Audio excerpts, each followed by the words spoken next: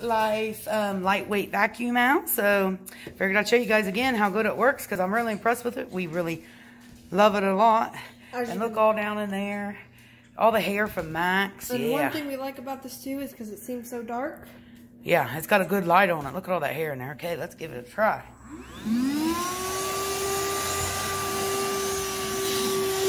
Look at that. This is taking it right up. Oh, I love it.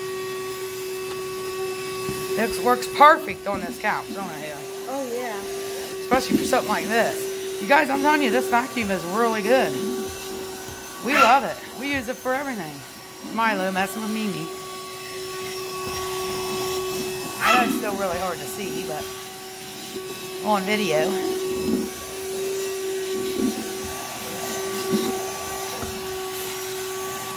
I'm gonna open the blinds so we can see a little better.